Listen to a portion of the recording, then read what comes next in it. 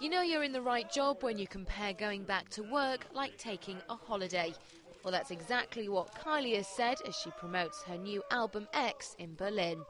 This will be her 10th studio album, and with it has come an air of confidence for the 39 year old.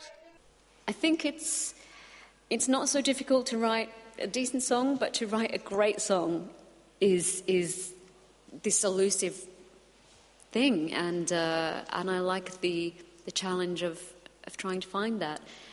Kylie was diagnosed with breast cancer back in 2005, forcing her to take a career break and undergo chemotherapy. Last year, though, she was given the all clear from the disease. Looking 10 years younger than her actual age, Miss Minogue let us in on her secret to looking so damn hot all of the time. My work keeps me very active, and I think I'm just I'm so happy to, to be back in, in good health and to be the other side of, of, uh, of illness.